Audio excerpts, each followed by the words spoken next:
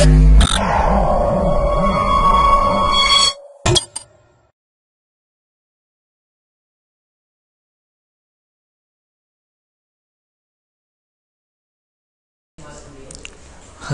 welcome. This video will lead us to the demo of Rich Receiver Initial Client Head Multicast Approach for Grid Application. In this paper, we examine an approach in which approximately similar resources and receivers are clustered into multicast groups. The goal is to maximize preference overlap within each group while satisfying the constraint of limited network resources.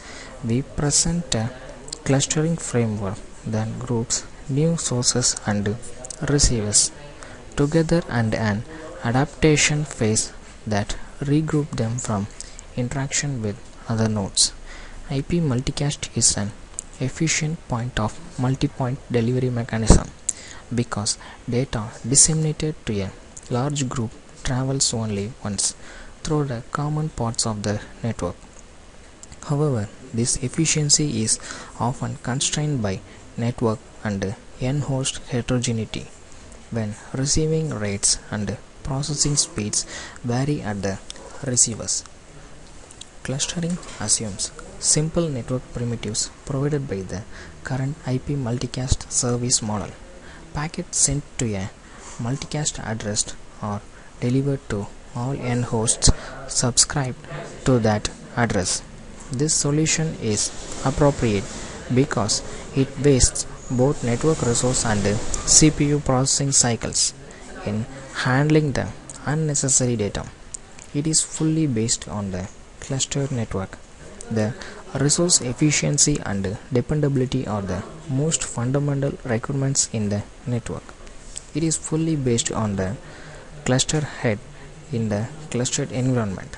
Due to this, we have better efficiency compared with the existing system. First of all, the job creation.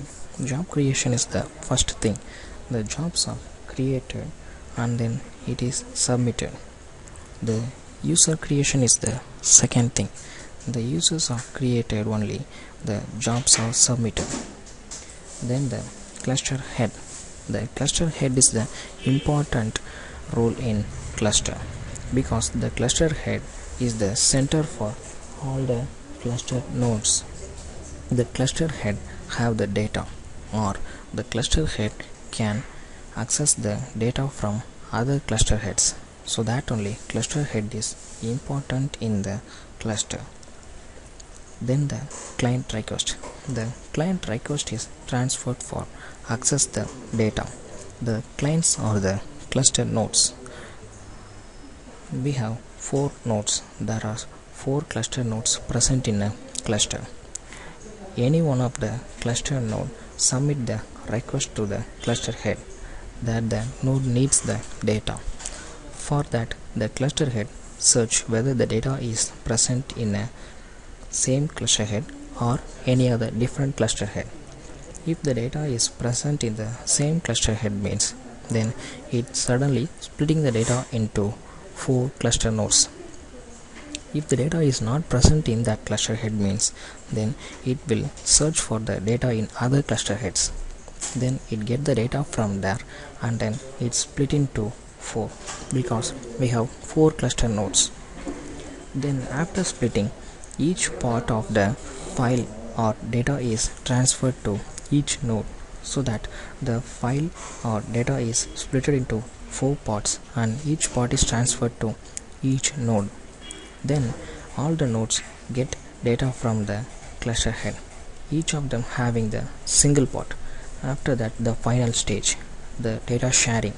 This data sharing is used very much because the access of the data is reducing the storage in the nodes. So the data accessing or sharing by the in between the nodes are very important in this project. Let us see the demo of rich receiver initial client head multicast approach for grid application. First of all click this image. Then this is the place for job creation. Now the jobs are created. These jobs are the input. And then we have to create the users. These users submit the jobs. So that only we have to create the users for that file. Then press create now the users are created and then press resource. Now the resources means the cluster head 1 because there are many clusters. For that each cluster there are different cluster heads like cluster head 1 and cluster head 2 then the cluster head is ready for get the request from the nodes. For that we have to run request form.java run file. Then this is the request form. Here you have to request a data from the cluster for that click browse.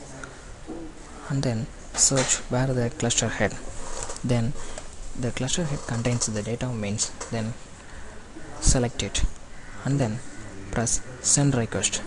Now the cluster head can receive the data by clicking the accept request button. The cluster head now receives the request from the node. Then the cluster head needs to view the data. For that if you press view button means then the cluster head can find out the data is present in cluster head 1 then press ok. This is the content in the data. Then press splitting. This is the next step if you press the split button means the, data in the cluster head 1 is splitted into four parts because the clusters because the nodes in the cluster is 4 so that only the data is splitted into four parts now the files are splitted and then press ok. Now all the nodes in the clusters are ready to receive the data for that we have to run cluster node 1 cluster head 1 that is the cluster node 1 in cluster head 1 so that we have to press get from ch here it is the node 1 the node 1 get the data from cluster head. This is the first part. And then you have to run cluster node 2 in cluster head 1 now run file. And here the node to get the data from the cluster head. It is the second part. After that we have to run cluster node 3 in cluster head 1 the node 3 get the third part from the cluster head. Then now we have to run cluster node 4 in cluster head 1 now the cluster node 4 can receive the data from cluster head this this is the fourth part. Then all the nodes receive the parts successfully.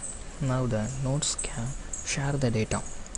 First of all go to node 1 the node 1 now get the data from node 2 so that select the data and click open.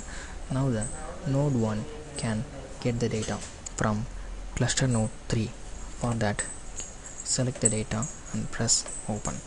Now the node 1 get the data from cluster node 4 if a failure occurred in cluster node 4 means then the cluster head 1 is automatically provide the data to node 1 and then likewise the node 2 the node 2 can get the data from node 1 for that. Select the data and press open. And then the node 2 also can get the data from node 3 for that get from cn3 then select the data. Now press get from cn4 because the cluster node 4 is already failure so that it can also get the data from cluster head. So click open. And then we have to get the data from cluster node 1 for node 3 so that press get from cn1 the select the data and press open. And then get the data from cluster node 2 for that select the data. And then get the data from cluster node 4 the node 4 is failure. So get the data directly from the cluster head 1 and then go to node 4 the node 4 can get the data from node 1 so that select the data and press open. And then the node 4 can get the data from node 2 so that select the data and press open. And then finally the node 4 get the data from node 3 so that select the data and press open. Now all the nodes are shared their data they received from cluster head if any node failure is occurred means then the cluster head can provide the data. This will reduce the overhead of the cluster head and also it is easy for sharing the data in between the nodes. It will reduce the time for transfer the data from cluster head to other nodes. Thanks for watching this video